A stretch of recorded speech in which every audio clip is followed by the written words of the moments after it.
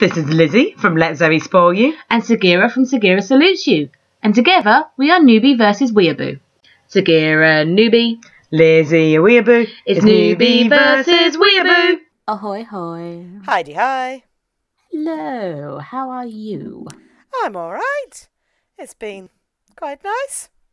I mean, I've not done much. I've played some Bloodborne. I've killed two bosses, so I'm feeling pretty proud of myself. Going, yeah, look at me. I know how to Bloodborne. Badass. uh, I've done stuff. I went to work. I went outside the house. Ooh. I ventured out. It was it was nice seeing the children, but you know, it's hard to social distance with certain age groups.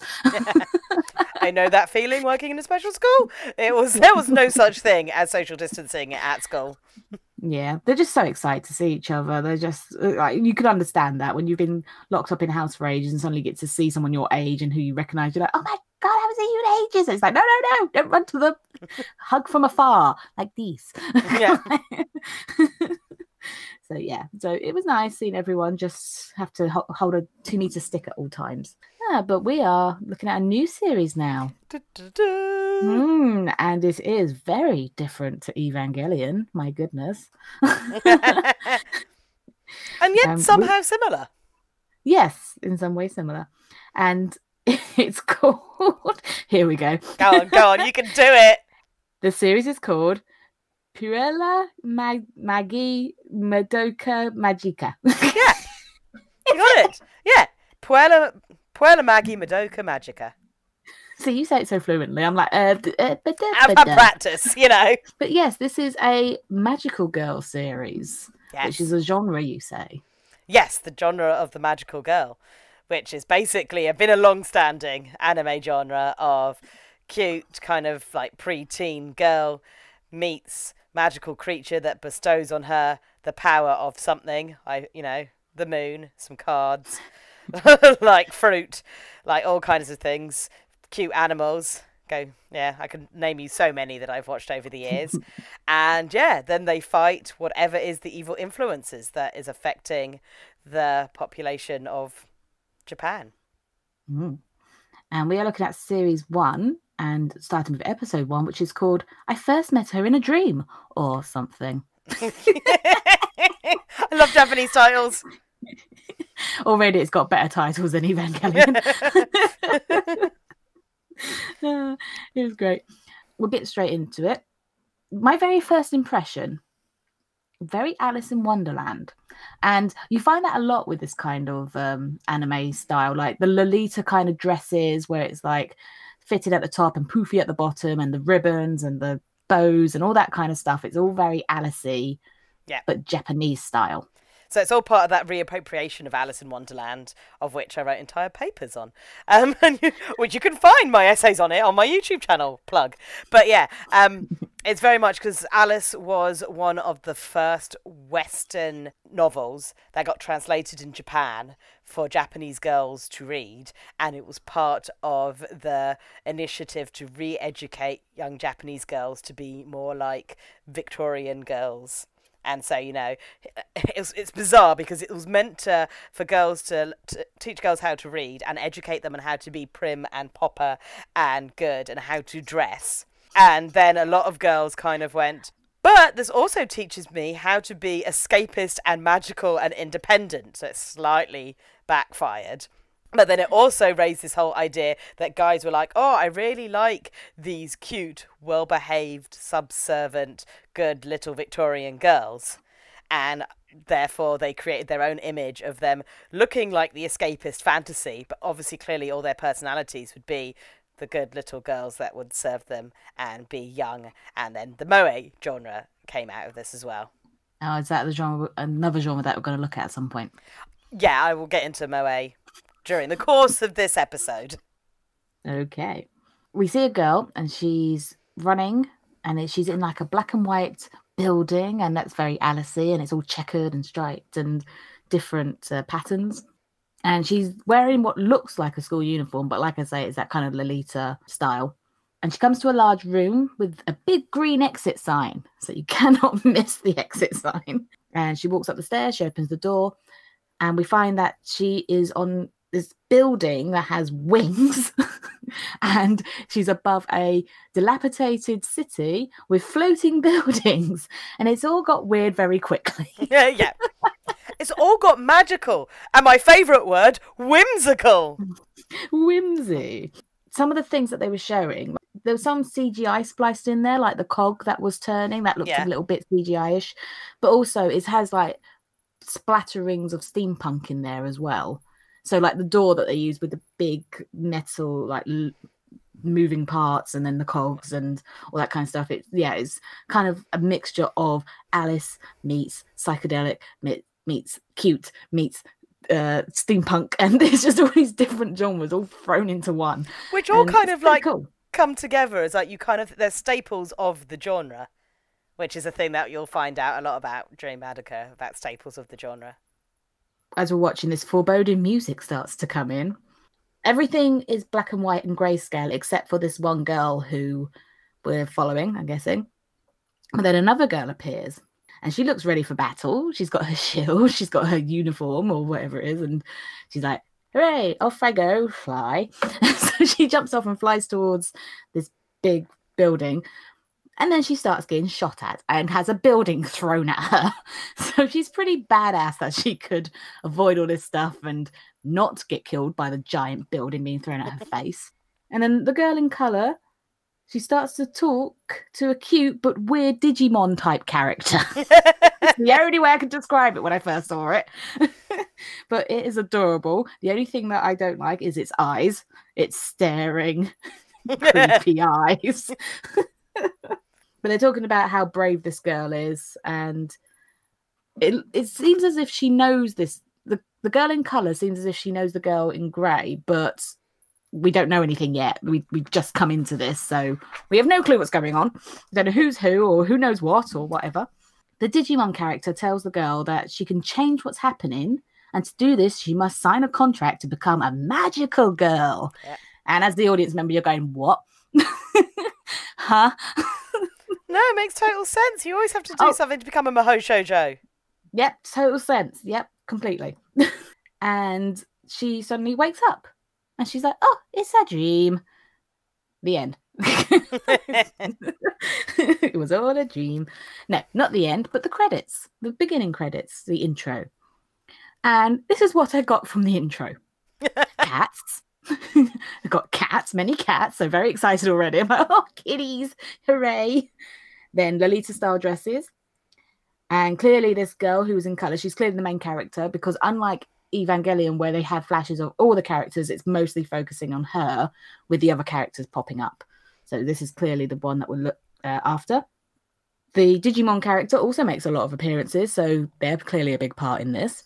And we are to expect comedy, monsters, nudity, and cats. Yay! all my favorite things.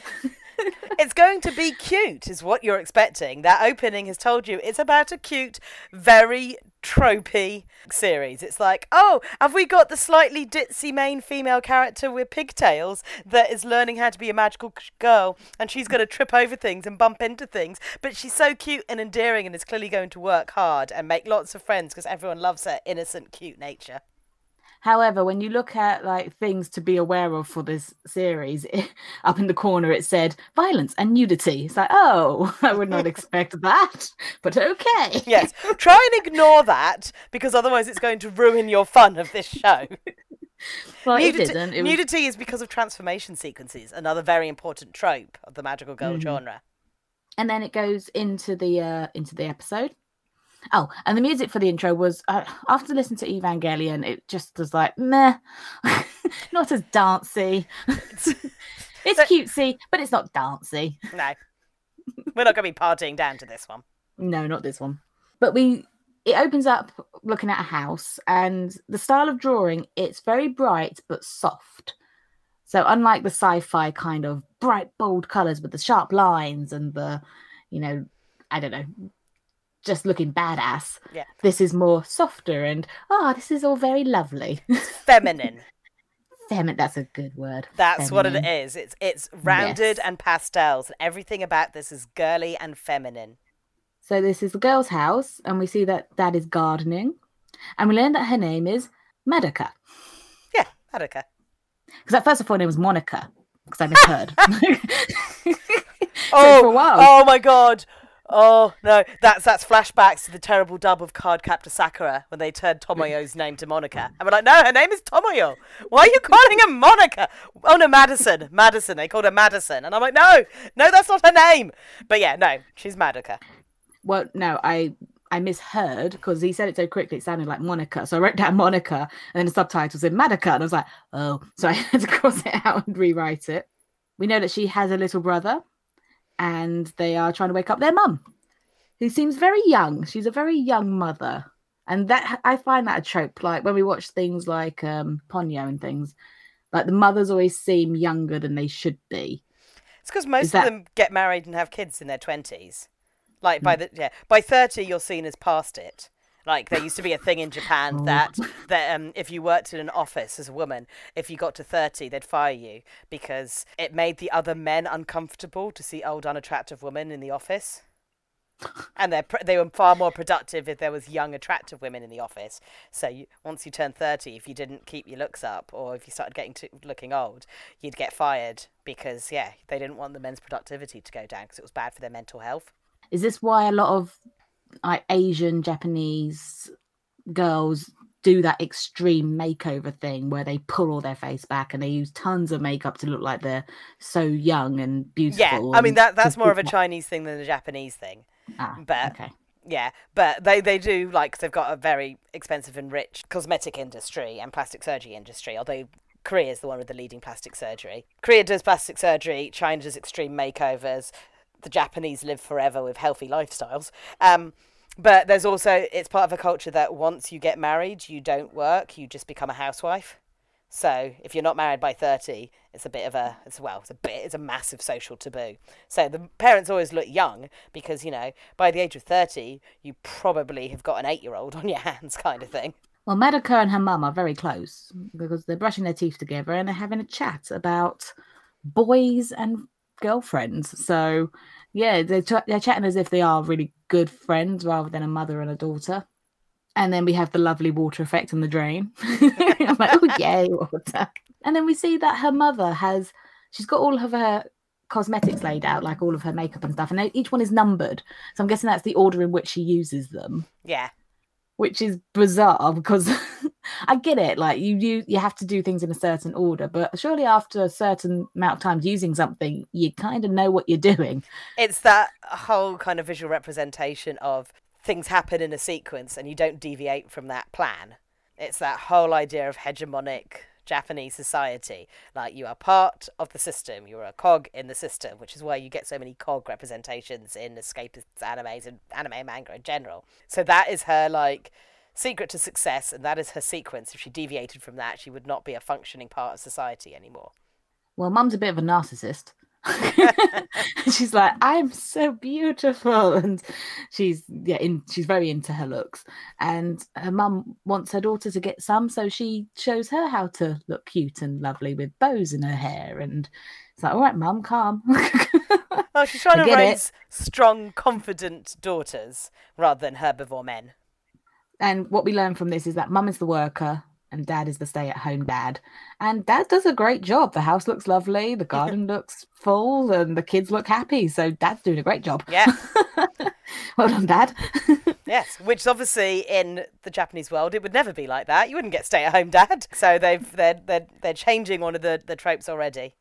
We then get the trope that we have talked about Evangelion, where Monica is running to school while eating her breakfast because that's what they do in these Yep, things. gotta have a piece of toast and you've got to be a little bit late. Eat that toast on the go.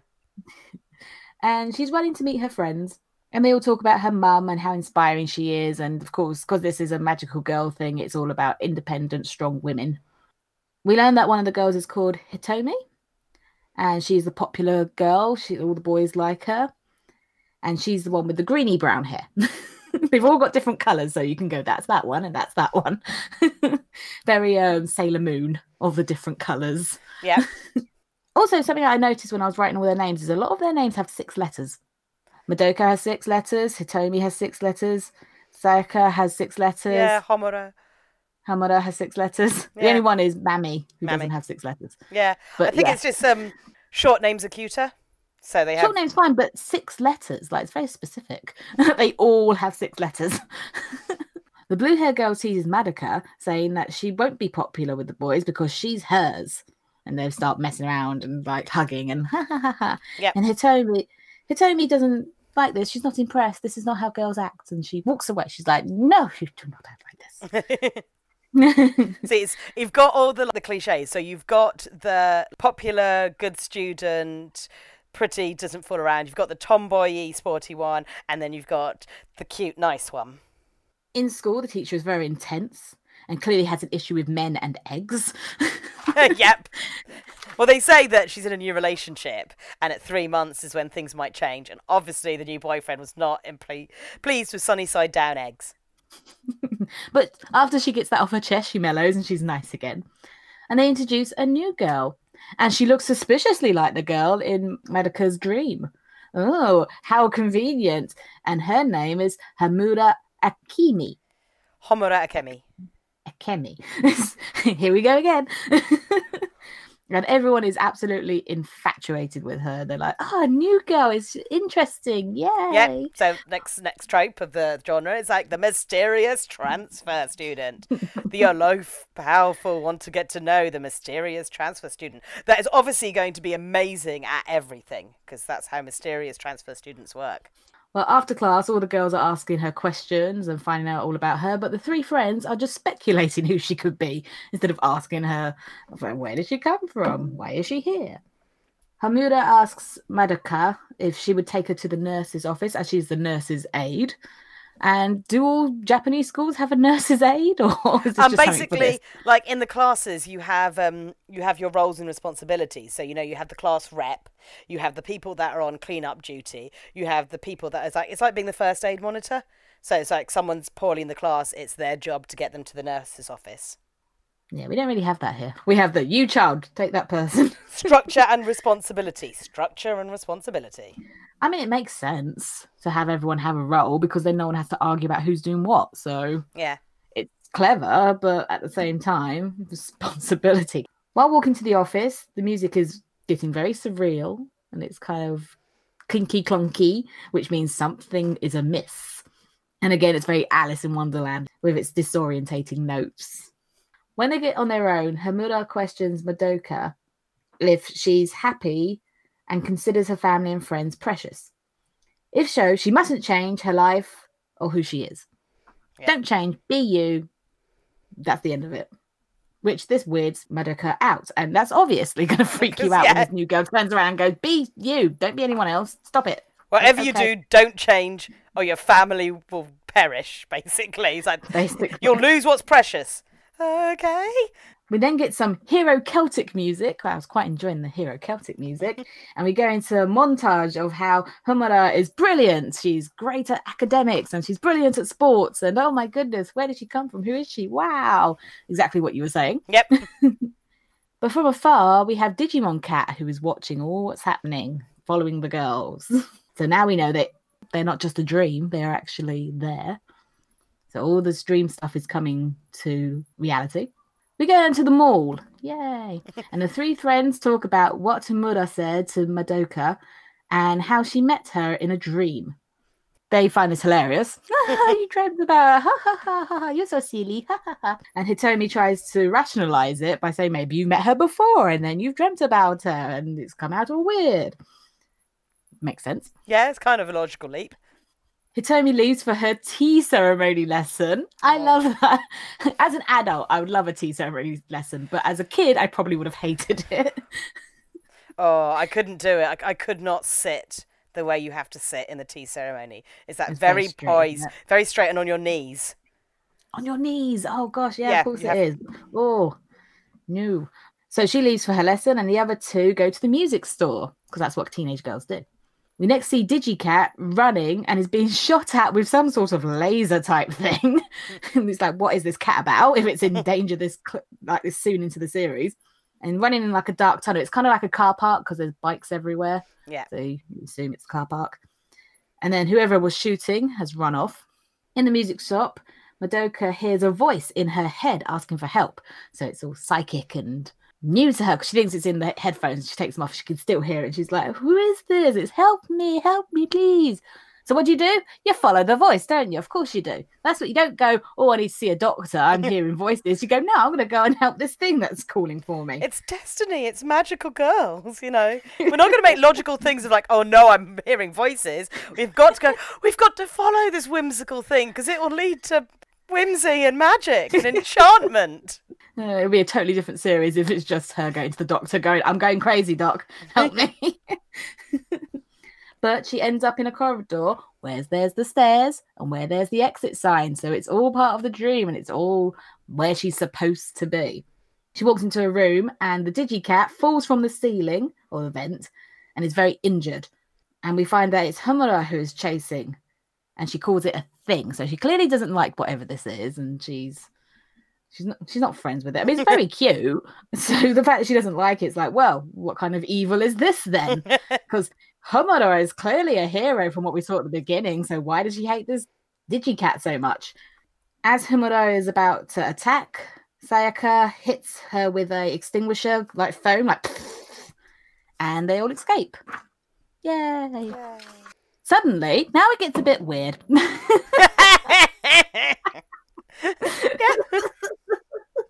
yeah, with, if you, anything that you thought was weird before, you're like, you know what, that was all fine in comparison to this. I mean, did you really think I was going to go? Here's a nice magical girl show. Oh, no, no, I knew there's going to be something about it, but this was just total left field. This is like, right, okay, you've gone totally AWOL with this. Let's enjoy it. but Homura is surrounded by butterflies and different images and is transported to this weird world of cutout pictures. It's kind of like a Monty Python s kind of drawing style. Yeah. All draw all cut out and then it's all like kind of weird movements and stuff as if it's paper being folded and stuff. It's, it's very strange. A big thing in Japan is you've noticed how many times they flick through like folders of photos of themselves and stuff, but there's a lot of scrapbooking, like precious memories. So there's a lot of crafting and paper craft, a lot of paper craft in Japan. Obviously, it's the country of things like origami and the one with the strips of paper that I can't remember what it's called. Where you make cute little stars by folding strips of paper. I used to be able to do it. Now I don't know how sorry tangent so yeah so it looks like they've gone into a girl's picture book crafting scrapbook Okay. And we find out what this is later. But as Madoka and Sayaka, now Sayaka, I keep wanting to call Sciatica, so that might come out at times. But Sayaka, they run and they are also transported into this world. And it all it all gets a bit weird. really does it. But like the picture, they've got a big thing about the moustache, the big twirly moustache, because everything has one of those. yeah And then there's then there's these weird cotton bud things with the moustaches, and then there's the butterflies, and it's So- it's very think of girl things like young girl things so butterflies is very like feminine and girly but twirly moustaches. yes they're from dandies your tea drinking british dandies As a little girl, I don't remember. Yeah, but imagine your child. Dandies. Yeah, but think you think of your Alice in Wonderland thing, and then think of like a lot of this stuff comes. The iconography comes from British Victoriana, and when you think of British gentlemen, you think of top hats and monocles and moustaches. Okay, fair enough. Well, it's a big trope in this, so we got to get used to it. As they're looking at all this weirdness, some chains drop in a circle around them, and all the crazy disappears. And then we have another girl, and she's got blonde ringlets, and she appears, and she's very much the Alicey looking kind of girl. We then find out that this digi cat creature is called Cube. QB, yeah, QB. QB or QB. I've always called it QB. QB. I've written it in phonetically. I put Cube. I'm going to call it Cube. But this is her friend. She's like, You found my friend. Thank you. And before she can introduce herself, she has to fight. So she goes through the magical girl transformation where the clothes all change and there's all pretty things. And she uses a what looks like a Fabergé egg. and again, it's that Victorian kind of knick-knacky thing. That It produces some light and it produces some flowers and she goes off to finish what she started and she goes kaboom and fights these things and guns come out and it's like a shower of bullets and yeah she's pretty badass this girl it's very funny that with these kind of things where you have like the really beautiful, cute looking girls in the beautiful costumes, and then they just brutal with the way that they fight. things. It's like, bring on the guns! Whoa! yeah, many a gun. And once that's over, they are back in the real world. Hamura is waiting for them, and the new girl says, "Oh, the witch has escaped, so tough. you can chase it if you want, but whatever." Uh, the two face off for a moment, and then Hamura decides to walk away because she can't be bothered with this. This new girl heals Cube, and we learn the girl's name is Mammy, which I don't know. It's something about the name Mammy because obviously it's like mum, Yeah. Mammy. So it's like everyone's calling her mum. I don't know. well, she's that other trope of she is the older, more experienced girl that's going to be the mentor figure. yes, but she she is. Yeah. And Cube says that she wants that, or he says that he wants the two girls to sign a contract to become magical girls. Credits. Yay! Yes. and that's the end of the episode. yes. And that's it. It's just a literal introduction to who they are and what this was. Yes. I So- mean, it's stunning. I love the animation. I love the mise en scène in this. I love the like the use of colors and like oh the classrooms being glass walls and the dream sequences being monochrome, the scrapbooking like art and it's all butterflies and flowers and scissors and things that you kind of like associate with that. Um it's what it really reminds me of is all the works by um, Ikuhara Kunika, who is uh, uh, Kunihiko Kunihiko Ikuhara, who is the person that gave us Sailor Moon and Utena. So you can see what's influenced this because obviously a lot of the, the tropes came from things like Sailor Moon. They even have a line in this to go on with the Moe stuff where they're like saying, "Oh my goodness, could she get any more like Moe?" Moe is it's hard to describe it. Moe is a feeling you get towards a character that makes you want to kind of protect and love them. So Moe is safe and cute and nice and you want to look after them. So a trope came out in Japan where there was a lot of moe characters created, but they were very vapid. They didn't have much personality. They were literally conglomerations of all the things that made you go, "Oh, I want to look after you." And so when you see Madoka, it's like, "I am cute and innocent. I've got pigtails and like, oh, I want to look after you because you're a bit derpy." So it's like it's playing with that moe trope, but actually like they invest a lot more like personality and time to develop them as characters in this. So yeah, it's interesting to see.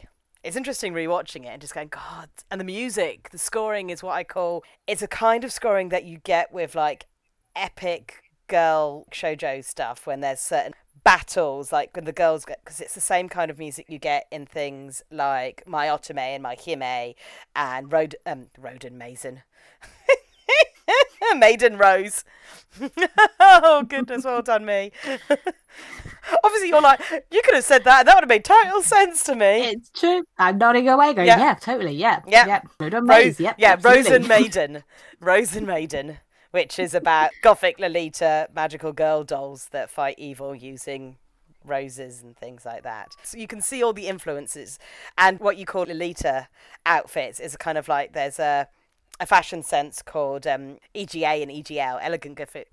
Elegant Gothic Aristocrat and ele- Elegant Gothic Lolita, which came out of a reappropriation of Victoriana fashions into this like Gothic Lolita style. And then Magical Girl anime for a while took that on, and but then they moified it into kind of like cuter, fluffier designs based around those old like Gothic Lolita outfits.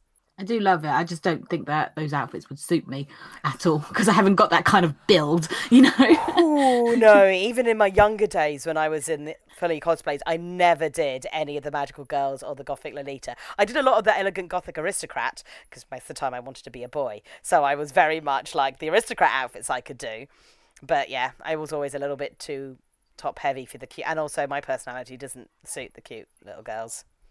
See, I could do personality and stuff. I just think that I'm too curvy. I mean, I'm sure there's a whole community of women out there going, doesn't matter about your size, you're gonna look cute, whatever. Oh But yeah, For me personally, as me looking at me, feeling like me, if I put on one of those dresses, I'll probably be like, you are fatty Lolita.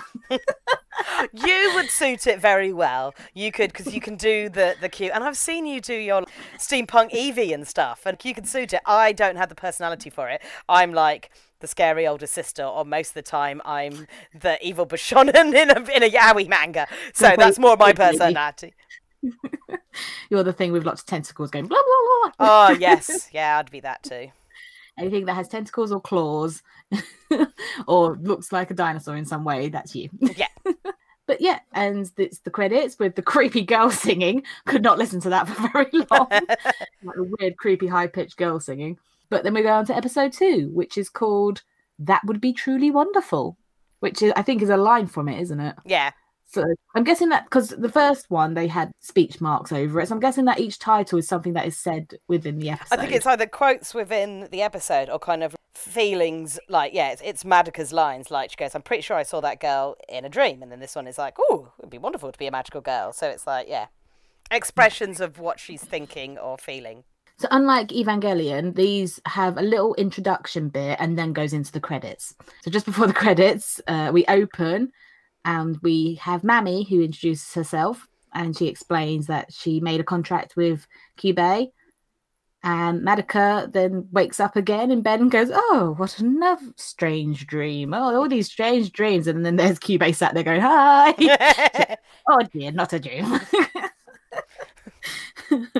Uh, and then we have the intro credits. Once again, we have Mum and Madoka talking at the sink while brushing the teeth. So this is clearly a routine that they have every morning just to catch up. And you can kind of see that this is their time together because Mum's obviously a busy businesswoman, and she she's this is her time to kind of catch up, find out how her kids are doing, and have that FaceTime with them, even if it's brushing your teeth and yeah, putting your makeup on. but Kyubey is sitting there in the sink and Mum is not reacting. So clearly, Kyubey is invisible to everyone else but the magic girls and the soon to be magic girls. Yeah.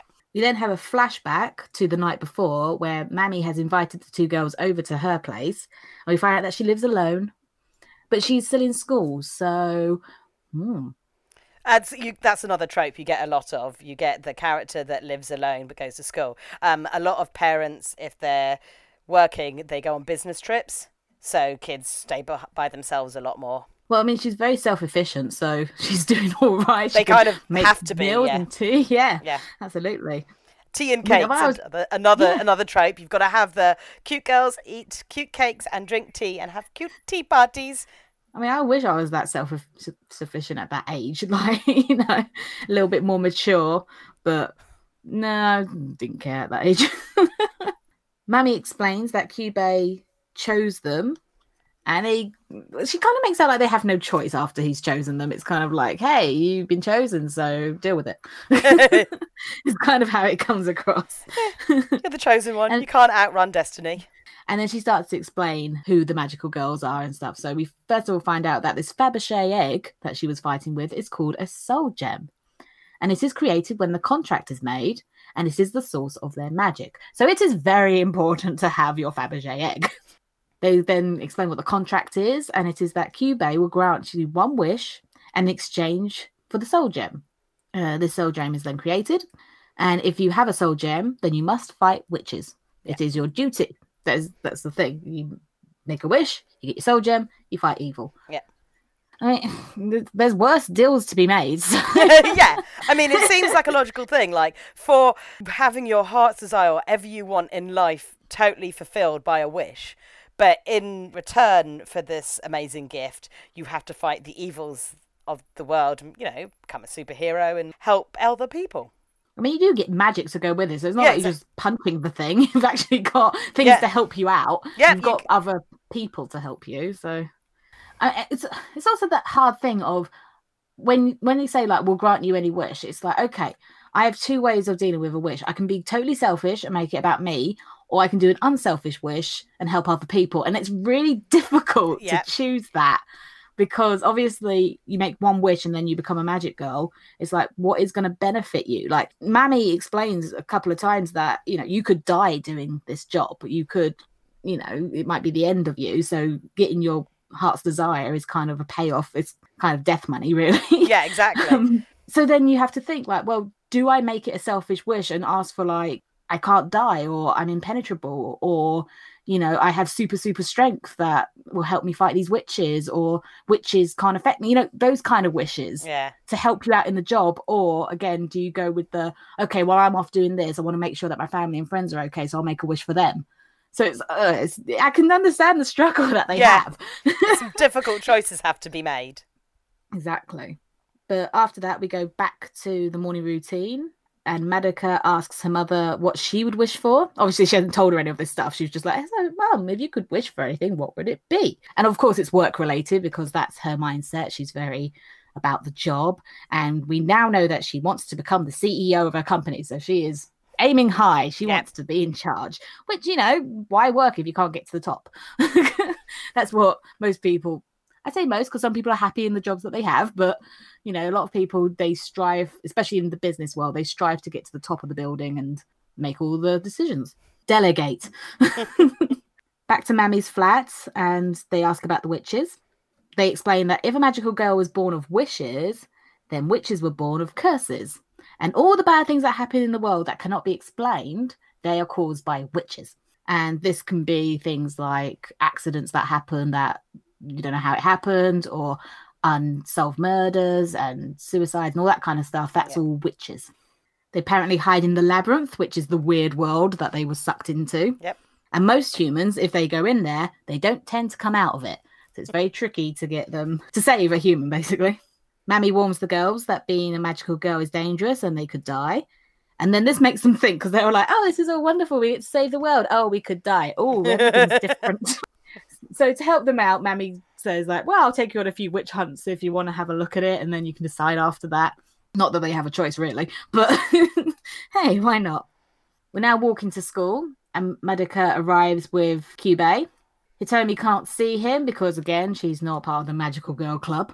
So Kyubey joins Madoka and Sayaka's thoughts so they can all communicate silently. So all they have to do is look at each other. But of course, to Hitomi, this just means they're all just looking at each other weirdly, just, you know, intently staring as they're in a conversation. But she thinks that this means that they are getting very close as a couple. And she this freaks her out. And she runs around going, Girls can't love girls. Girls can't love girls. It's like, well, the boy crazy girl doesn't think girls can love girls. Of course. yeah. But then doth the uh, does the uh, maiden protest too much? Hmm, who knows? Maybe she's just a little bit jealous. In school, Kyubey explains that school is actually the safest place for him, even though Homura is there. And they all communicate still with their minds, but then suddenly Mami comes into their heads and she's not even in the room. And it's like, where the hell are you? but apparently they can, as long as they're close enough, they can all communicate through walls and your mind is just completely exposed to each other and you can't have a thought without the other person hearing it. So that's fun. Keep your mind on your work. That's what I say. we then get another flashback to Mami's flat. And she tells the girls that Homura is also a magical girl, and that Kyubey says she was after him to stop her from making more contracts. So she didn't want any more magical girls. Sayaka asks, Isn't it better to have more to fight the witches? But Mami explains that the magical girls fight each other, and this is because after defeating a witch, they get a reward, and only the one girl can get a reward from each witch. So that's why they all fight each other to get this reward. Back at school, Homura stares at them intently. not, you know, not suspicious at all. She's at the front, turning around, staring at them. Mami comforts the girls, saying that she's there, and if anything starts, she'll help them out. So, again, being that motherly figure of looking after her two girls. We see Madoka drawing, and she's drawing what would be her outfit. She's like, "This is what I would look like if I was a magical girl," and it's very sweet. And Yeah. it's a little girl thing to do, drawing in your notebook and imagining what life could be like. I love it that you know that is always important decisions, and she's got a wish to make and all this, and it's like, no, the outfit is the most important thing right now. what would I wear? And I think that's what she gets from her mother. What would I look like? yes. Next, they're up on the roof, and it looks a little bit like heaven because it's a very white building, and you've got the blue skies all around. You can't see the ground, so it looks like they're floating in the sky, Yes. and it's all very lovely. But Madoka and Say- Sayaka eat their lunch. The girls talk about their wishes and still don't know what they want, and they don't know if they want to die over this thing because they're saying this wish has to be so massive that you would die for it. So, what could that wish be? Kyubey says that most girls know exactly what they want and they tend to just take the contract. They're like, yep, I'll take the contract, boom, done, sorted. But Sayaka puts it down to that they haven't suffered enough to want anything that would risk their lives. So they haven't had a want so much that they instantly know, right, this is what I want to exchange my life for. They really have to think about it because, as I said, like it's not just impacting their lives, it could be impacting a family member's life. So yeah. And also she starts to say like there's other people who suffer more than we do. Why aren't they getting this chance to make their lives better rather than us who actually are okay and well off? But as you said you can't change destiny. If you've been chosen you've been chosen. Homura arrives but Mami is watching from afar and she's ready to stop if anything goes down. Homura says she doesn't want to hurt Kyubey anymore as he's already made contact with the two girls and it's too late. So Yep. no need to fight them anymore and she asks if they have decided what the wishes are. She reminds Madoka of her warning, saying, like, you know, I told you to stay who you are and to think about your friends and family if they're precious to you. So don't forget that before you make your wish. And then they ask her what was her wish, but she doesn't want to answer and she walks away because she's the mysterious girl who Yeah. doesn't answer questions. She's our lone wolf trope. Yes. She is the lone wolf magical girl that you're not sure if she's good or bad, but you kind of like, well, you work it out. But like, you're like, ooh, mysterious, good or bad, friend or foe. Will turn up at some point and make more sense later. After school, Sayaka and Madoka. Am I saying that right? Madoka. Madoka. Madoka. See, as, the faster I say it, the easier it is because I stop to think. I go slower and go Madoka, Madoka, Meduka, Medusa. it's going to transform. After school, Sayaka and Madoka blow off Hitomi, who is devastated. They're like, "Look, we have plans tonight, so we can't really hang out." And she's, like I say, she's devastated. She runs off and she's crying. She's like, "Three's a crowd." Over dramatic, but then she thinks that her two friends are ditching her and she's losing them, even though she's the popular girl. She could have any friends she wants, but these are obviously two of her closest friends, so they're the important ones. But Homura is following them and she's spying and she's keeping her distance so they don't know. Mami has taken the girls out for dinner to start the experience. Sayaka bought a bat because all magic girls have a bat. And Madoka bought her drawings, and the other girls find this hilarious. You drew a picture. You're so cute. it's like, okay. yeah, she's the cute ditzy one. Everything she does is adorable and light-hearted. Fills you with moe. But that's fine if she's in on the joke. Ben was laughing at her and she's like, Oh, you're laughing at me. Oh mm. no. And the eyes go all wiggly. Mami takes them down to the back corridors where the witch was before. And the soul gem is starting to flash, indicating that there's witch residue. It sounds delightful. witch residue. They have to follow the gem and they have to do it by foot, which apparently is important. It all has to be done by foot. You can't float. There's no magic in this part. You're just walking with the gem. They end up outside and the gem is getting weaker and weaker because they're starting to lose the witch. Madoka questions if Homura is evil because you would, wouldn't you? Because as far as she knows, she was trying to kill this cute little animal, and it's like, well, why are you trying to kill this cute animal, and why won't you be friends with Mami? What's happening? so, of course, all the questions around this mysterious girl. We then cut to an old building where a woman, she's kind of limping and she's not really with it and she's kind of staggered into this building and obviously it means something if they're showing it so Yeah. so first you're like oh something's going to happen and it cuts away and you're like nothing happened but obviously something's going to happen because that's the anime way we go back to the tracking and Mami explains that witches can be found in places such as car crashes and fights suicide spots and hospitals. And she says hospitals are horrible because you can see the witch draining the life from these poor sick people which yeah uh, that would be traumatizing to watch if you can see it. And then the gem starts glowing. Ha ha witch nearby. Yep. and they run to where the staggering woman is who is now up on the roof so this is an example of someone committing suicide the witch is in charge of it And the very Japanese way of committing suicide where you take your shoes off. why They take their shoes off. I don't. I've never really like. It's one of those things like it's like when you take your shoes off to go into somebody's house. There's a whole respect, so you take your shoes off to commit suicide. Bit of tradition. As she jumps off, Mami transforms into her magic girl clothes and she catches her with her magic and slowly lowers her to the ground. So they got there in time. Hooray, magical girls. She then checks the woman and she has a witch's mark, which is on her neck, which they call the witch's kiss. and it's a butterfly. So I can see why you are very drawn to this uh, series, as butterfly seems to be very prominent in Yep. it. I like a butterfly. I like a lot of butterflies in Japanese mythology. The butterflies were the messengers of the Shinigami, and in some like beliefs, they are they go between the spirits of the dead, passing messages. Well, they go into the building to find the witch, and a portal appears, which is also a butterfly. Mami turns Se- Seika. I've lost it. I've lost it. Right. Mami turns Sayaka's bat into a magic bat, and it gets all big and magic looking, and it's ooh. And then they enter the portal, and we're back inside this weird labyrinth world with the cotton wool mustachio things. and they're not bothering anyone; they're just getting on with stuff, so they just left them. We also now have flying mustachio jellyfish, which are attacking. Yep. And Mami has an amazing steampunk gun. Like she pulls out this rifle with all the pretty patterns and stuff and starts shooting at them, and it's so cool. They enter some doors. Ka-chunk, ka-chunk. So many doors. And they find a blobby monster with a rose bush for a head. And this is our witch. Yep. so very different. But again, it's in that kind of cutout paper styly. And because of that, it moves weird and yeah, it's not pleasant. Mami uses the bat to make a force field to protect the two girls from what's happening and to make sure they don't come in because they are not magical girls yet. And although she ends up upside down, because while she's fighting, the thing gets like out a tentacle thing and then grabs her and holds her upside down. And she's full of confidence. She's like, "Oh, maybe I should finish this now." so, so But I I don't know mean- what.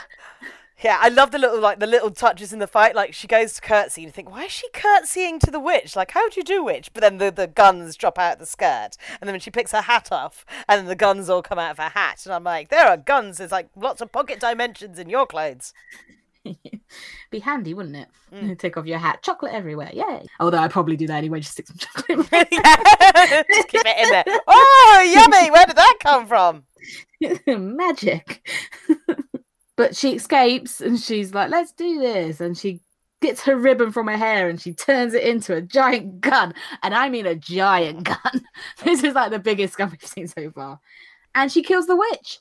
And it's that simple. There you go. Yeah. You just get your magic stuff and you kill a witch. Ta da! See, girls, why wouldn't you want to be a magical girl? Yeah. because this isn't the worst of it, I'm guessing. I'm guessing there's more to it than this. This is just one of those starter episodes where everything goes smoothly.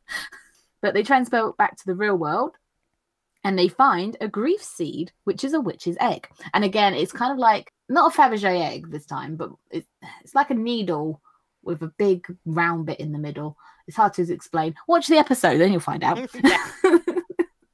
But Mami uses the seeds to brighten her soul gem and restore her power. And this is what they're talking about when they talk about rewards. Regenerates them basically. Yeah. And it took a load of black out of her soul gem. So I'm Yeah. guessing it's taking out any evil or any bad thoughts or anything. Yeah, like as her as you- Cleansing it. yeah, cleansing it of any tainting from having to touch a witch. Mami then throws the seed and Humaru catches it and she says it's good for one more go. So obviously there's more than well, there's quite a lot of power in there to help, so you can share it. And she throws back the gem and it's like, oh, she's not a sharer. No, no, which she, is she wants her reward. which goes back to like why she doesn't want more magical girls because it's more competition for these seeds and getting more power. So they then go outside and they check on the woman who's traumatized, but they comfort her and try and calm her down because, as far as she knows, she hasn't got a clue what happened. She was at work and suddenly she's on a roof and now she's on the ground. So she she can't remember anything. So of course you'd freak out if you the whole part of your life has been like wiped from your memory. But Madoka wants to be a magical girl and she's at home and she's doing her picture and she's drawing, but she still doesn't know what to wish for. No. The end. She's a she's a good soul and she wants the power because she also wants to help people and ease other people's suffering. So she is a good girl, full of innocence and possibly naivety, but she doesn't know what her big grand wish would be. No, it is difficult. Yeah. But yeah, I I like it. I think it's a good series. It's a nice change from Evangelion, like not so much monsters and etc. etc., but more fantasy and whimsy. And I mean, there's still disgusting things in it because that Yeah. wasn't particularly pleasant. Yeah. And I'm sure they're going to get more grotesque as it goes along, as the as the artists go. How can we make this look even worse? But at the moment, yeah, it's it's a nice change. Um, it's nice to mix it up between sci-fi and fantasy. Yeah. And yeah, I, every single dress that they wear, I'm like, I like that dress. I like that dress. I'll wear that dress. Oh, that dress is pretty. the girly side of me that's like, oh, dresses, pretty dresses, Alice type dresses. And then, of course, cats. So I'll be Yeah. looking forward to seeing more cats. And the fact that Cube looks a lot like a cat makes me happy. So You're like, yep, I'll have one of those. Where is my Cube soft toy? I'm expecting one of those to turn up in your house. Well, that's it. I, rem- I when I saw him, I thought I've. I'm sure I've seen this as a plushie. I'm sure I Yeah. have. So now I know what he's from. So now I can be like, "Yep, one cube, please." But do not buy it until you finish watching the series, just in case the the advertisement has like a picture that spoils something in it. I will do. Okay, but something else might come up that I want to buy. So Yeah, we shall see. But yes, I'm very happy to be watching. It's only 13 episodes. You said 12. I think so. Yeah, twelve or thirteen. I Yeah, remember. So it's not going to be a very long series. No, but then there's two movies, I believe, that go with it. So yes, uh, very good. I give it a thumbs up, and I cannot wait for the next episode. So hooray! Yay. Lizzie, I have a different question to ask you today. Ooh, okay. What would you wish for to be a magical girl? I'm going to give you one selfish option and one non-selfish option. I have always, I always know what my number one wish would be, and it's it's it's a bit random, but it's it's the same wish that it's been forever. Um, and I've always wished that my mother would be the sole winner of the Euro Millions. Why your mother, not you? because she's supported me and given me a lot of money over the years and helped me out with things and i want her to go into later because i don't make a lot of money so i can't give her a good home and later life and all that kind of stuff so i want to make sure that she has everything and her husband have everything they could possibly have to have a good life and i also know my, my mother would share it with me and my sister so i know that by oh. making sure that she has everything she'll make sure that i have everything So that's your non-selfish wish. What is your selfish wish? I don't know, like I want to. It's all these things that, like, well, money would probably solve that. If, like because obviously I want to be a healthy weight, but never gain weight, no matter what I eat. Ah. like, but that also, so I always have my ideal of my body in my head. Uh, My other wish is that I also want to be completely fluent in a couple of languages. I don't know how that would help me in life, but I just would like to be fluent in Japanese, Korean, Mandarin, Bahasa Melayu. See, you have wishes that are obtainable. You know, with hard work and stuff, you could actually get those wishes. Yeah. My wish is a little bit more out there. Oh, God. that is literally a magical girl wish.